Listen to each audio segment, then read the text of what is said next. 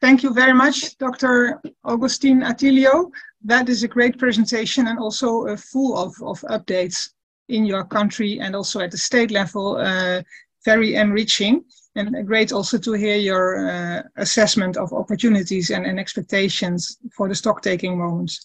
I think a highlight, also a key opportunity is also, of course, using the system, food system approach and the food system resilience approach to move from the humanitarian towards the development uh, approach and interventions. That's, of course, a, a key element in your, in your story. Um, I see that one of the questions is coming in, so that's great. So I'll now invite uh, the participants to think about questions for Dr. Augustine Attilio, but also for the other speakers. As we said, you had possibly noted down your questions on your notebook. The first question is from Rutger Groot, East-West Seeds, uh, and he asks whether uh, South Sudanese smallholder farmers, what do they need to feed their country?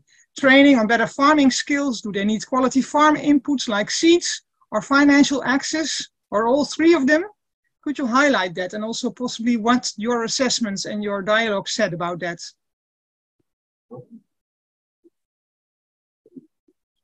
Uh, well, I think this is very good questions. Of course, the context of South Sudan is very unique. We are very rich. We, we have all the, the, the, the resources that we need to develop our countries. Uh, the only challenge that we have is that most of our people, 80% of the population of South Sudan are living in rural areas and they are practicing subsistence agriculture. Now, uh, they need a lot of support in terms of good policies to help them move towards actually transformation of agricultural uh, system. Uh, South Sudan needs financial support so that we can build up very strong extension system that will be able to move people together from subsistence situation that we are now to better uh, market-oriented kind of agriculture. This is this is key. Uh, question number one. Number two, I will give a chance to my colleague uh, Dr. Uh, Ngalamo to to add also to this. Yeah, uh, yeah. Thank you, thank you. I think the question is in place. But uh, is um, a partner in this journey uh, through Nuffic and uh, our collaboration with Wageningen University. We're able to start TMT HOTI together. And uh, to be precise, yes, all of smallholder farmers in South Sudan need the three. They need training. They need access to improved seeds because from our assessment, one thing that uh, I think uh, my colleague have not mentioned is to talk about food system transformation, we also need to look into seed because there's an interface between seed system, food system, which is crucial. 80% um, of our seed need in, in this country is from the farmer, uh, farm saved seed system, which is poor in quality, but available. So East West comes in with improved seed, which is needed in this intervention. Access to credit is another one. Our farmers cannot do more than what they're doing because they don't have access to credit. Nobody is ready to be a collateral, even the government. So I think, yeah, all the three is fundamental to ensure that they feed themselves. Thank you. Thank you for your clarifications, uh, both uh, Dr. Tony as well as Dr. Augustine. And uh, I'll open the floor for another question from the audience. And your question may be directed to uh, the GAIN Bangladesh team or to uh, Jordan uh, representative Dr. Walid, please raise your hand electronically or ask a question in the chat.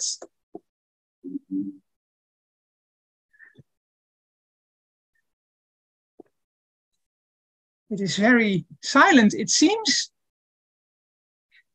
Possibly I can ask a question to either Dr. Walid or to uh, Mrs. Uh, Mandira. Um, foresight was referred to several times, and we have uh, representatives of Wageningen University here as well. What exactly does foresight methods add to this complexity of, of building a food systems agenda? What did it solve for you in the meantime? Could you may clarify that? Yes. Can you hear me? It's Rudaba, Dr. Rudaba. May I, may I come in? Thank you very much. I think it is very important to look at the different scenarios and modeling because government has after the COVID and the you know Russia-Ukraine war, the food price has increased. And we know we have to be very careful in investing. What the foresight does is basically gives us different simulation and modulation. And Dr. Walid can also highlight there where we're going to prioritize which roads will take to the our goal so that we can from feeding the people nourish the people. We can look at people planet and ourselves equally ensuring that our youth our indigenous is nobody is left behind. So that's why it is very critical to have that at the forefront of our thinking as well in built as an exercise so that's why we have integrated foresight as the part of the planning prioritization, budget analysis, and ensure a private and public sector investment. Thank you. Thank you. That's uh, very inspirational. Uh,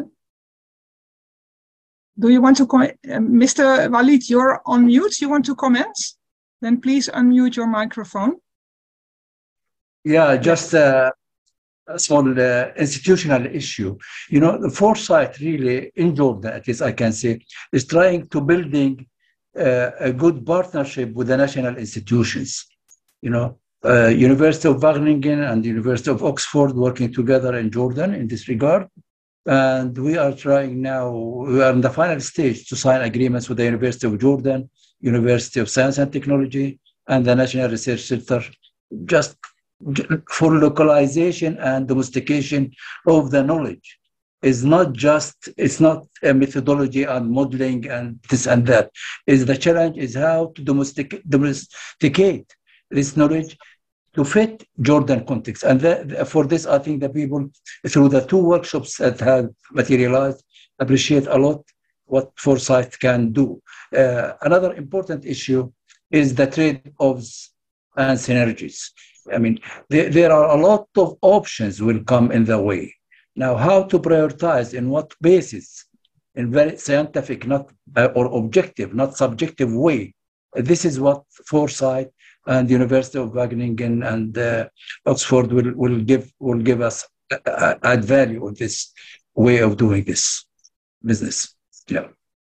Thank you. This is also a very nice uh, clarification and, and good for all of us to understand that a bit better. There's a question uh, for Dr. Artilio from Meet Gielens, uh, the Hunger Project in the Netherlands. How is the nutrition aspect included in uh, the state policies? Could you clarify that? And you're on mute, so possibly. Okay, yes. thank you. Thank you for the questions. Of course, nutrition is, is, is uh, is part of our engagement. As we address the food security, we also address nutritional security. So we have a food and nutrition security policy in a draft form, but recently the Ministry of Health is actually working to develop nutrition policy for the country.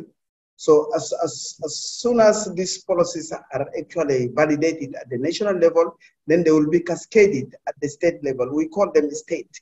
These are the, the, the lower administrative units because we have three level of government. So the policy nutrition is very key because uh, when we, we carry out the food system assessment, the number of children who are malnourished, the number of women who are actually suffering from uh, micronutrient deficiency is very, very big. So the issue of nutrition is really very key in addressing the food system transformation. So it, we are taking it very seriously. Yeah, maybe just to add a, point, uh, out of the nine pathways we developed, we facilitated actually uh, in Torit, for instance, it's an equatorial state. One of the pathway is actually talking about nutrition and nutrition-related intervention which again uh, echoes the importance of the partnership with East West Seed Company in providing seeds of improved uh, uh, vegetables for healthy and nutrition uh, diets in South Sudan. So yes, it's crucial and it's well catered for. Yeah, over again. Thank you.